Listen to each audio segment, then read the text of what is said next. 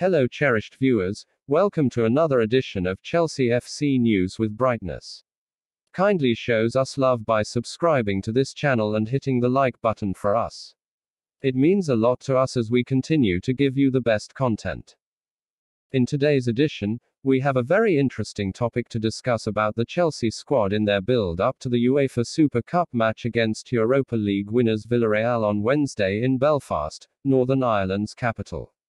The 2021 UEFA Super Cup final will see Chelsea take on Villarreal at the National Football Stadium at Windsor Park on the 11th of August.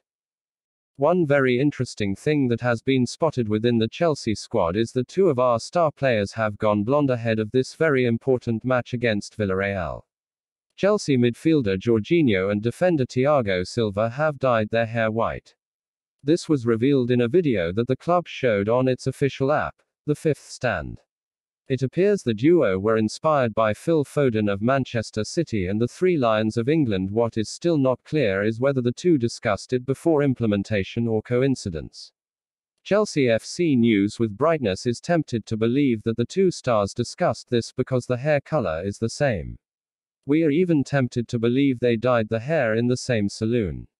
In the video, you could see Hakim Ziyech surprised that the two chose a white color over colors present in the Chelsea jersey. But one thing that we at Chelsea FC News with Brightness believe is that these two blonde hair will deliver the UEFA Super Cup trophy to Chelsea Football Club on the 11th of August 2021 in Belfast. Come on you Chels.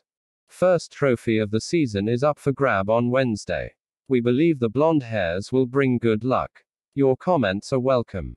Kindly subscribe so you don't miss interesting contents.